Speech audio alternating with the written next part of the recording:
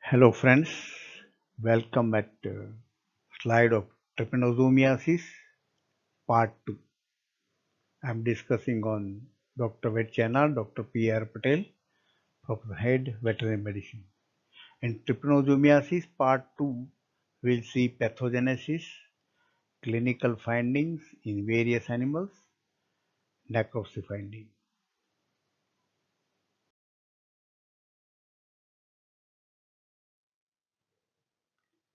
We see here the pathogenesis. There are various types of courses observed in clinical findings. The course of disease depends on many factors.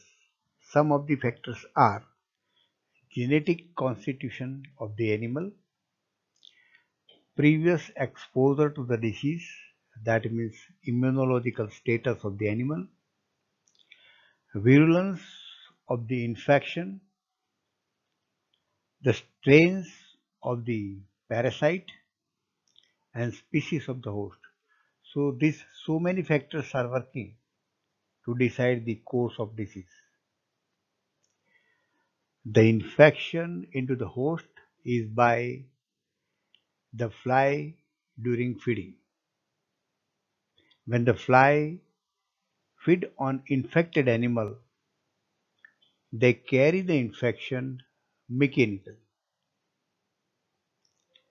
In trips, multiply in blood and these trips dispersed throughout the cardiovascular system.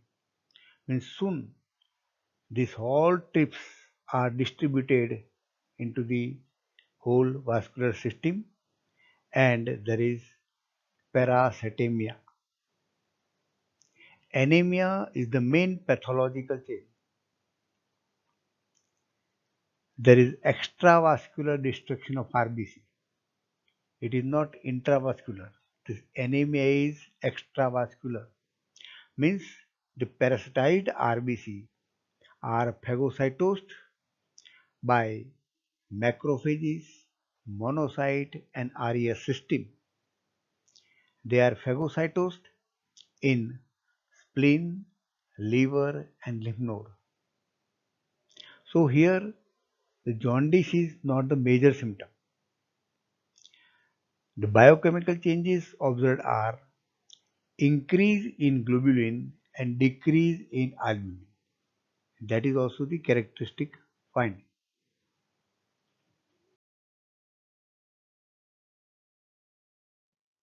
Continuation of the pathogenesis, we have seen the anemia is the main finding. Here we will see which are the factors that causes anemia. Factor 1 hemolysis of RBCs by trypanosomes directly.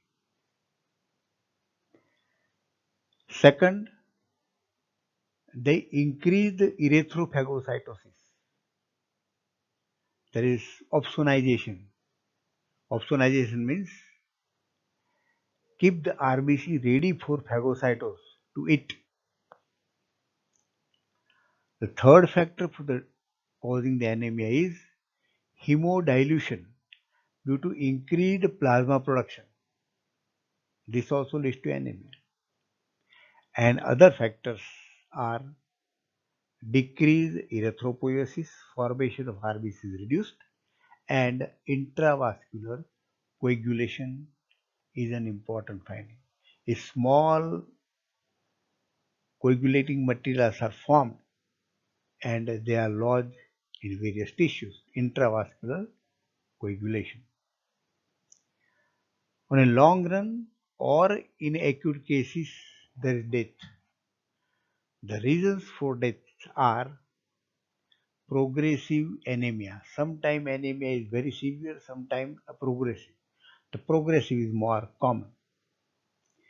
Intravascular coagulation and these coagulating materials, coagulating particles are distributed into the various tissues and they block the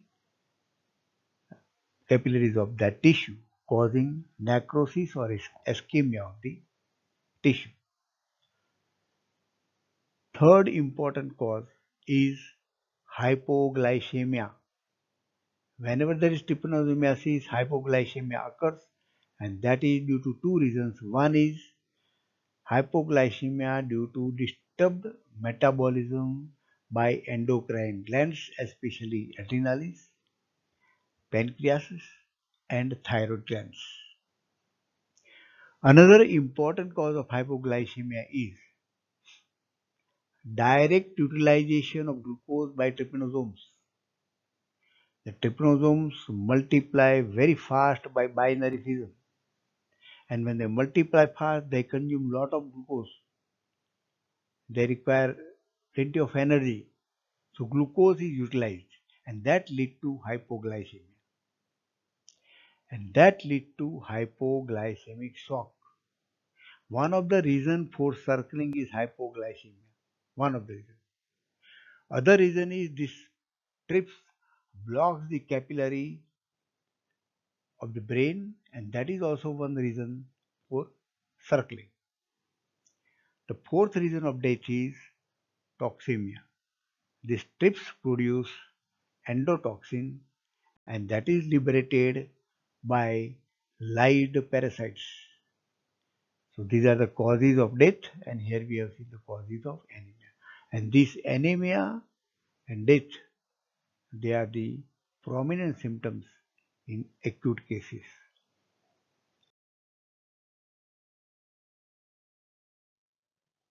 Here first we see clinical signs in equines. Equines are highly susceptible and large number of the cases are seen in equines. Again in equines, there are many forms, acute, subacute and a chronic. The incubation period is 4 to 9 days. The symptoms in horses are severe. Donkeys are generally resistant.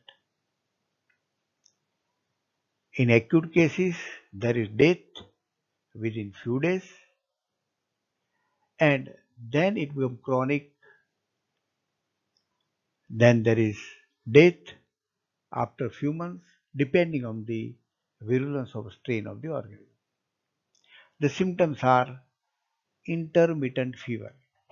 There is a period of fever for few days, again animal become normal for few days, again fever, again normal like that, intermittent fever. Anemia is the main symptom. Another important symptom is transient, temporary, local urticarial eruption. A raised edematous plaque or wheal-like structure is called urticarial eruption, just like a bite of mosquito and these are found on sensitive area of neck and flanks.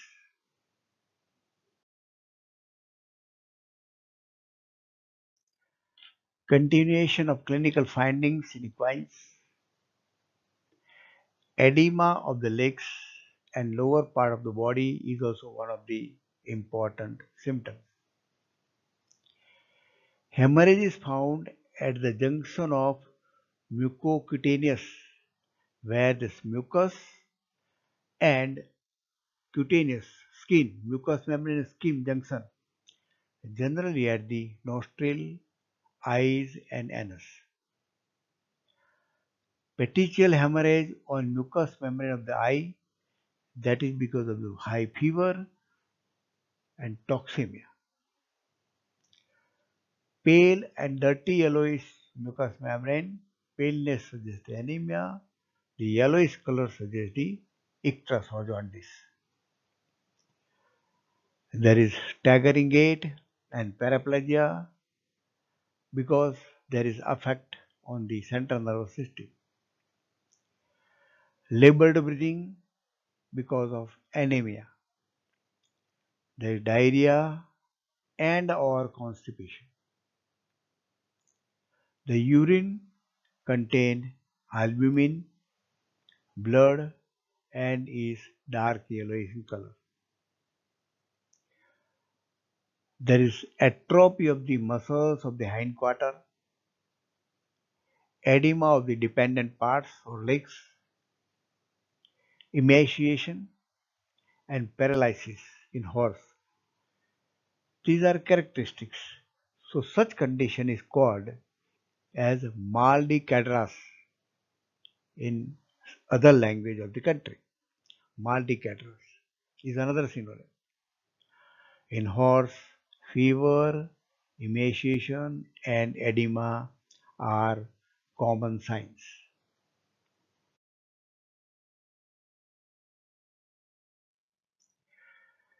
Signs in cattle and buffaloes. The course varies by various factors and the course is from a symptomless carrier to per acute infection is also observed. In per acute cases, there is nervous form of conversion and circling. Death in 2 to 3 hours, sometime without premonitory symptoms. In acute cases, animal become dull, there is staggering gait, fever, circling movement characteristic. Nervous excitement is also characteristic. Due to excitement, there is beating of head against wall and manger. Animal become apparently blind. Animal strike the feet on the ground, stamping of the feet. Because of excitation, continuous bellowing, there is groaning or grunting, twitching of muscle, coma and death within 6 to 12 hours in acute cases. In subacute and chronic cases, generally the level of parasitemia is less. Edema of the legs, important symptom. Diarrhea, intermittent fever is important symptom. Dullness, progressive emaciation and death. Some of the common clinical findings in cattle and buffaloes are enlargement of superficial lymph nodes, emaciation, progressive weakness and anemia.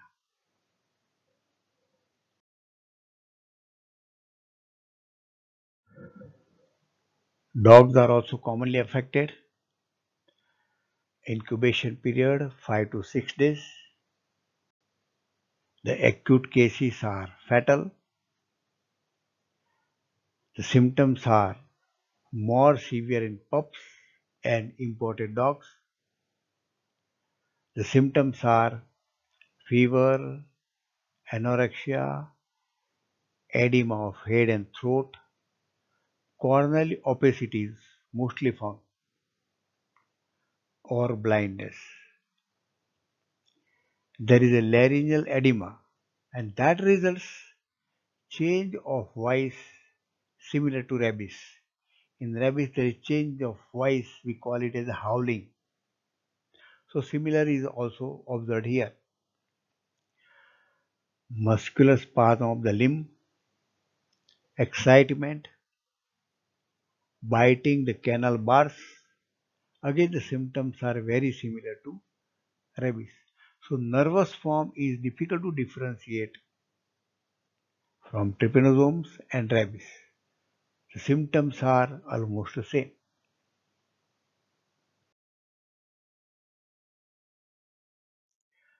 Now symptoms in camel. In camel it is called as tie bursa or a thin bursa. Generally cattle, a chronic form is found. Characteristic symptoms are intermittent fever, progressive anemia, edema of legs, and emaciation, especially hind parts. In sheep and goat, The cases are very rare. The symptoms are moderate emaciation and anemia is the constant observation.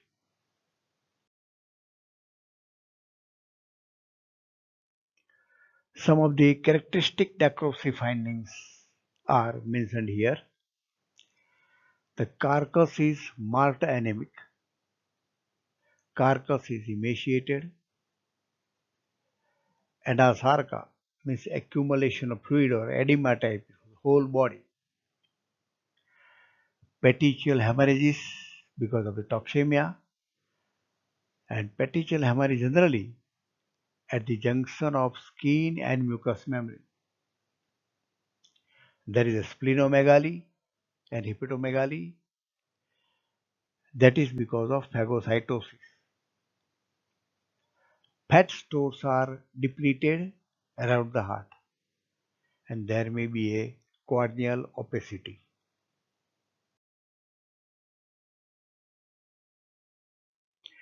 Friends, it is my humble request to share this information to veterinarians.